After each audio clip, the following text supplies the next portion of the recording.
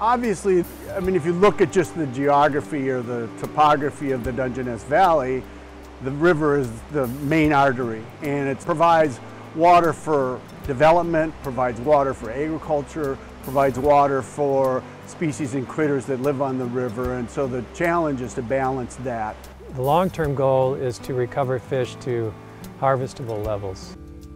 I know every river has its people.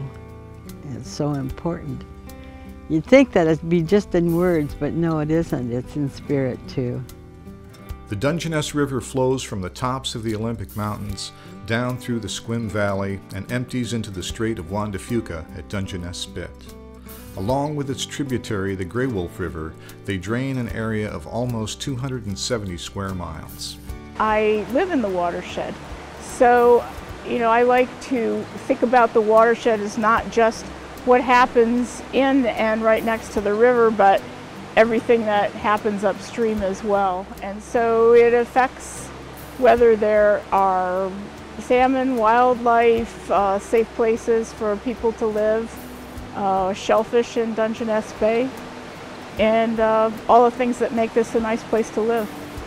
I'm a veterinarian that's lived here for since 1991 and my wife and I are the very happy owners of five acres which includes one and a half acres of riparian property along the uh, Dungeness River. The most important part of what we wanted to save is this riparian area, which we're standing right in the middle. Uh, this is a side channel of the Dungeness River. These easements are an agreement between the land trust and the property owners. Uh, we still own the property we listed everything we want to do on the property in our agreement, our easement agreement, and we have full use of the property, except for what we agreed not to do. Dungeness Farms is the uh, property at the very mouth of the Dungeness River. Uh, the club owns about 50 acres on each side of the river. It was a good learning for everyone, I think. We, we were able to express who we were, and we were able to learn a lot about the other issues and that you know here we are 20 some years later and we're still learning but it's it's been uh, it's been great for us to uh, to participate.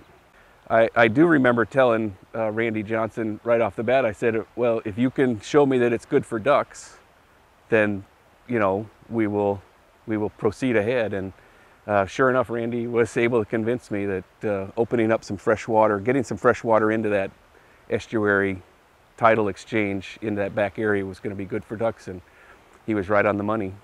Just a few miles to the west of the Dungeness River, on McDonald Creek, the Jamestown, S'Klallam, and Elwha tribes teamed up with local landowners like Paul Macbeth and came up with a creative way to help restore the stream. You're looking down ac across my property at uh, some salmon habitat uh, project work that we did. Uh, large woody debris that were brought in under a, a federal grant this is a, a, type of project I think that, that's pretty new to most people, at least most of the new residents in, in the valley. And so what I did is went and knocked door to door and, and talked to people and introduced themselves as, as a new neighbor and, and, and, told them I had an opportunity to do some work on the creek that would not only help the creek and the salmon, but it would increase their property values and it would make things uh, uh, you know, just nicer down here to come and uh, come and enjoy. And uh, people were receptive. It was pretty easy sale. Well, over the course of the years that I worked on the Dungeness, it seemed like we were working on layer after layer of, of what was potentially contributing to the problems in the river. And it turned out that it was pretty much everything. At first, we thought it was just a lack of water. The main thing was just to start getting out there and talking to the landowners. Figuring out how to work together to fix the damage caused by dikes along the river has been one of the biggest challenges to restoring the watershed. Uh, rivers need room to move. Floodplains of rivers are like the lungs of a river system. And so during a flood, the, those lungs, those floodplains breathe in water and then as the flood recedes, they slowly release that water. The irrigation community is the largest user of Dungeness River water. In the past, their rights to Dungeness River surface water exceeded actual river flow for many months of the year. Over the past two decades, agricultural water users have made improvements to their infrastructure and practices and have signed agreements to reduce their water withdrawals. So my name's Ben Smith. Um, I'm a dairy farmer here in Sequim. One advantage that our community has has been way out in front on in the in the state um, and probably in the nation is our ability to cooperate. If we all work together, heading in the same direction, um, you know, I mean, we can do a lot of good things.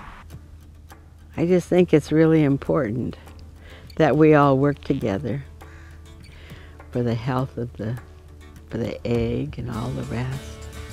I think it has improved their property value. Uh, I mean, there's nothing here that can hurt anything, and so uh, I think everybody's for salmon. You know, that's I can't imagine that you wouldn't be.